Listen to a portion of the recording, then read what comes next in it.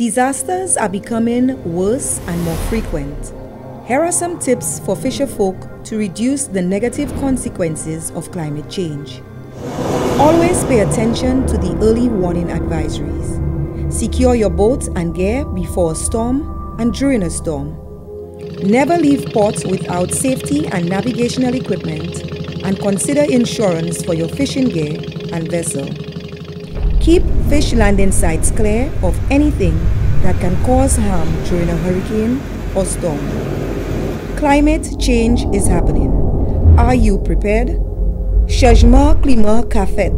Est-ou préparé?